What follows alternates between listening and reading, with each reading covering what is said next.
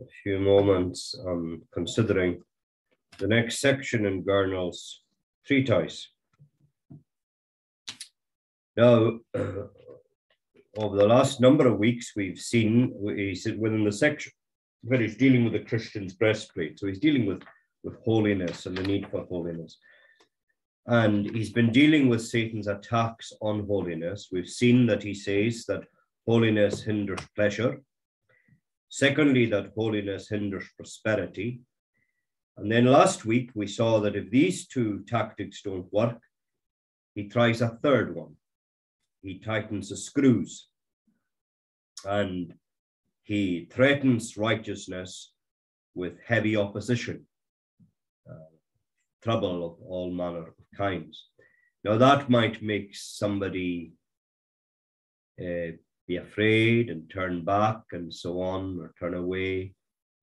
But Gurnall gave us three reminders um, in connection with that. First of all, he says, if you are in that situation, remember God controls all men. And he gave two examples Jacob and Laban, and Mordecai and Haman. Secondly, God can bless that difficulty when it comes, whatever size or shape it might have, more than peace and easiness. And uh, it's safer, he says, in some ways, than the friendship of the world and peace within it. And then the third point he makes is remember that when you lose the world's blessing, you gain the Lord's. Well, he moves on now, and first of all, tonight we're going to come to a little section which sits by itself, where he makes two points about holy living and the holy life, two particulars about the holy life. And we'll deal with them first of all, they're very short, and then he begins a slightly longer section, and I shall take the first and maybe the second point that he makes there as well. First of all, then, two particulars on living a holy life. The first one is this, and they're, they're both straightforward. And I was actually tempted to, to skip over this bit, but he has some nice thoughts in it, and I, I it's worth pausing at. First of all, he says, sin and holiness do exist and do oppose each other. Now, I don't think I'm going to have to convince anybody here tonight that that's the case, but let's hear what he's got to say. We live in a generation, now remember, he's writing a long time ago, which treats sin and holiness as the melancholy imaginings of timid men and women. And if he did, so do we. Some even brag about being free from the tyranny of holiness that they can live as they like without being accountable to an unbending conscience. And if that was the case then, how many-fold now? They rationalize that sin does not exist except in the mind. How often we hear this sort of thing as well. Thus, these are even worse fools than the one that David described in Psalm 14. These people go further because Psalm 14 says there is no God. Um, these people go further and shamelessly announce to the whole world that they are fools because the Psalm, in Psalm 14, he's saying in his heart. I think that's the point Gurnall's making there. The fool says in his heart there is no God, but he said these people, they, they're even they're even worse than that. They, they say to the whole wide world and they demonstrate their folly in so doing. Now he then makes this comment I am not mentioning these ungodly people merely to dis, disprove them, that would be as senseless as proving that a sun on a clear day because somebody chooses to deny it. He says, I'm raising this point to impress upon you the abominable times we live in. What a deep sleep we have slept, that the enemy could have come in to sow those tares among us. Maybe we took it for granted that such poison seed would not grow in our soil where Christ's servants have worked so hard to clear it. He's thinking again of his own day and of the advances that have been made in the gospel and so on. Yet experience has proved that when disease invades a city, it rages more freely in pure air than in polluted climes.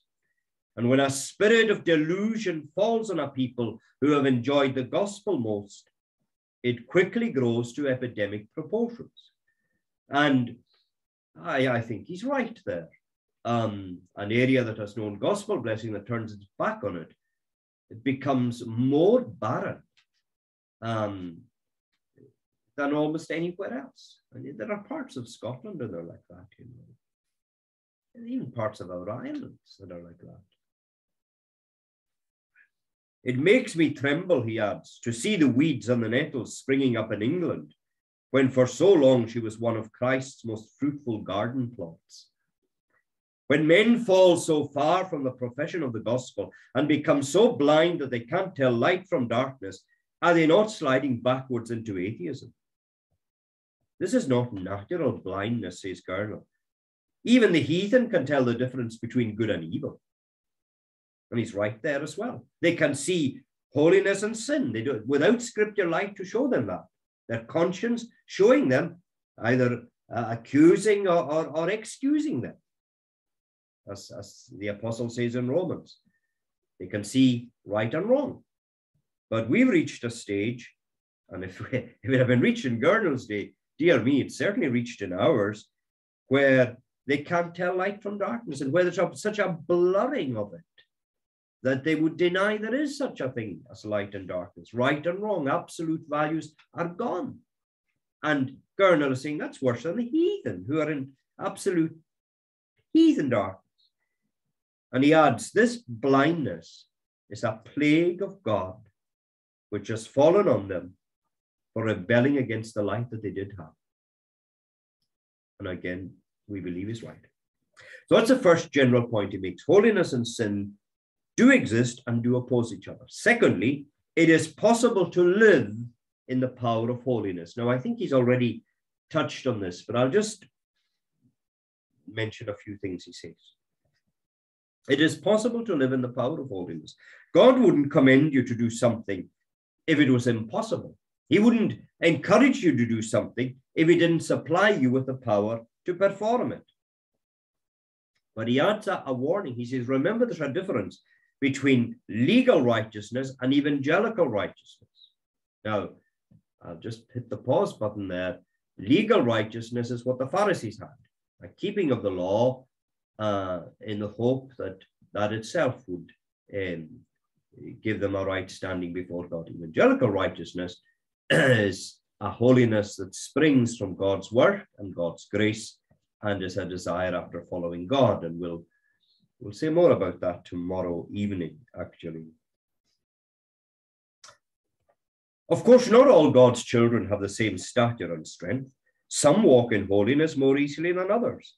But there's never been a saint endued with new life from Christ who hasn't had a true desire and some success in the matter of evangelical righteousness and who does not desire to do more than he is able. Well, there's a mark of grace for me. In fact, there's a handful of them, I think. A seed is tiny, but contains, contains the bigness and the height of a mature tree inside it. And it continually puts forth more and more strength as it goes to maturity. Thus, in the very first principle of grace that's planted at conversion, there's contained the perfect and complete grace in a sense. That's an interesting thought there. That is, the desire is in him to grow up into that perfection which God has appointed for him in Christ Jesus. In a word, Christian, when thoughts of the impossibility of having this holiness here on earth are suggested to you, reject them and send them straight back to Satan. He knows your efforts for holiness will prove him a liar. Purpose continually to be holy and keep your eye on God's promise to help. And don't be afraid, for God the Lord's a sun and shield. He'll grace and glory give. Grace to glory. God will keep adding more grace to what you have here on earth until your grace on earth merges with glory in heaven. And he quotes James 4 there, and that's why I read James 4. um, James 4 and verse 6. and um, forgive me because, yes, he giveth more grace. He giveth more grace. Well, that's the two points he's making. Sin and holiness do exist and do oppose each other, and it is possible to live in the power of holiness. He then moves on to a, a longer section where he's making three points. Just check my time. And this section is headed reproof or um, rebuke of unholy people. And he, he identifies three types of unrighteousness which flourish around us. First of all, there's the person who's quite happy in their unholiness. They make, as we say, no bones about it and no pretense of it. Now, in a very real sense, Gurnall points out that this is the natural state of every person on earth. Our sins dictate and cut out our work for us. And it's a sad and wasted life which is spent on such a beastly work as sin. The Apostle Paul linked the bond of iniquity and the gall of bitterness in Acts 2. And anyone who plants sin and unholiness and tries to harvest anything except bitter fruit claims knowledge beyond God himself. Again, that's a very interesting little, little point there. You know, if, if people say, well, I can live as I want and um, yet a, a, a good's going to come of it and happiness is going to come of it. Well, they're claiming to know more than God. They're, they're claiming to be wiser than God because God has said that won't happen. And you see people sometimes and they do they do things, they do appalling things, and they say, well, it's for happiness, it's in the pursuit of happiness. And God says, oh, no, no, no, that's not going to work. And uh, time comes and, and it demonstrates that God is right. He guarantees that the natural fruit which grows from this root of sin is gall and wormwood. Now, of course, the devil, through centuries of artistic cookery, and here's one of Gurnall's typical illustrations coming up. The, the, the devil, through centuries of artistic cooking, might cover up the bitter morsel of unholiness with such clever ingredients that you can't taste the real flavor of it. But as Abner asked Joab, knowest thou not that it will be bitterness in the latter end? 2 Samuel 2. Hell will melt all the sugar the pill was coated with. And then, if not before, you will taste the true bitterness of what went down so easily. How many in hell today must be cursing their feasts and their feast maker too? While the false economy of Satan's deception is not hard for Christians to see, very few people ever consider what's happening in eternity. They see sinners die every day in the middle of sin, but they don't think any more about them than fish in the river wonder what happens to their fellows who are snatched by the bait. And that's true, isn't it?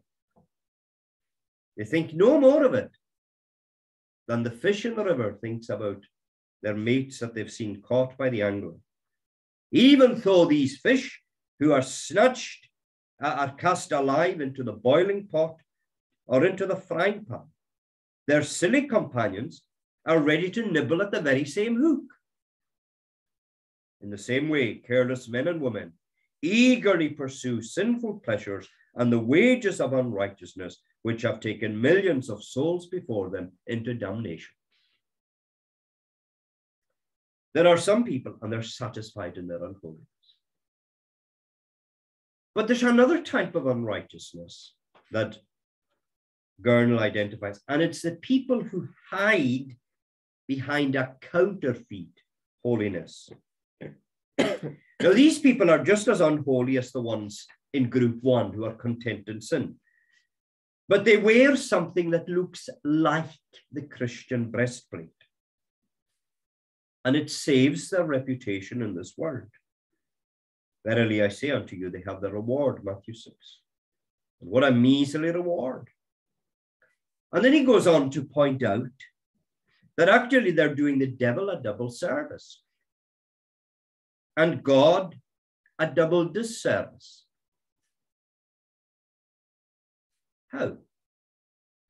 Well, if you march into battle armed with hypocrisy, first you draw the prince's expectations towards you as a soldier who will be faithful to him. But then when you do nothing, he sees only a traitor taking up the place of the faithful armed for victory. You actually do your prince more harm than the coward who stays at home, or the rebel who runs over to the enemy's camp and at least makes it obvious what he's going to do. And you, know, you could think of Judas here. He's, he's the obvious, if extreme, example of this. Be serious, friends, says Gurnall. If you're after holiness, make sure it's through holiness. Put on the new man, Ephesians 4. Observe two phrases in that verse. Put on the new man, which after God is created in righteousness and through holiness. Holiness is called the new man after God. That is according to the likeness of God. And here's an illustration. Such a sculpture is drawn from God's being as an artist copies the face of a man. So it's after God, after God's likeness. Also, true holiness means a holiness of scripture truth, not Pharisee, not Pharisaicalism or traditional doctrine, which has as its point of reference the heart but a holiness which has as its reference, a point of reference, the heart, which is the seat of truth or falsehood. I'm going to read just one more paragraph. I'm going to leave it. My time is running and my voice is also running. In order to have true holiness, then, the Christian must have righteousness and holiness in his heart. Many people, and here's another Gurnall illustration many people have beauty of holiness, which is like the attractiveness of the body, skin deep. If you tear away the most beautiful body on earth, you'll not find much except blood and stench, says Gurnall.